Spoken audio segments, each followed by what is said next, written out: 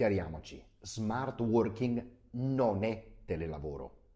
In un mondo imprevedibile in cui è davvero complicato fare previsioni a lungo termine, lo smart working è la bussola che orienta le aziende verso il futuro.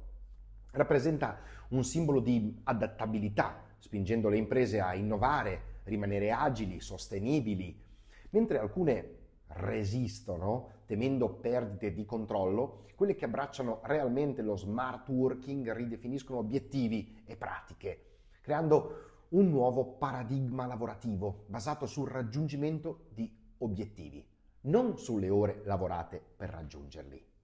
Non sappiamo cosa ci riserverà il futuro, ma le nuove generazioni senza dubbio hanno una particolare sensibilità verso l'equilibrio tra lavoro e vita privata e penso che lo smart working sia la chiave per andare incontro a questa necessità, ma deve cambiare tutto il paradigma del lavoro. Rock and roll.